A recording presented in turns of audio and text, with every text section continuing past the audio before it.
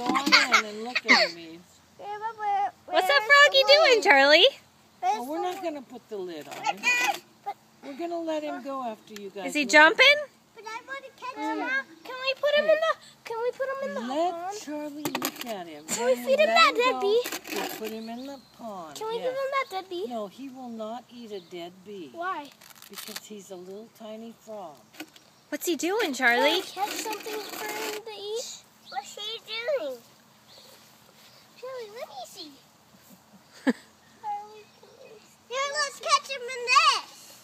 Let's catch him Oh my gosh, if we got him in that, even we couldn't even see him.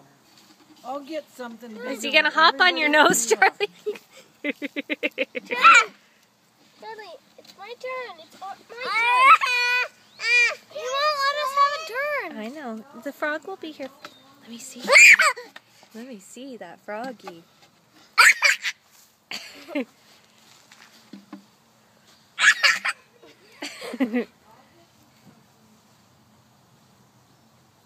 Is he hopping, Charlie? Yeah. You like him?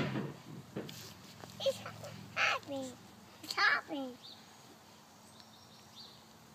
Charlie, it's my turn to look. Char- Grandma! He's not letting me have a turn. Hang on.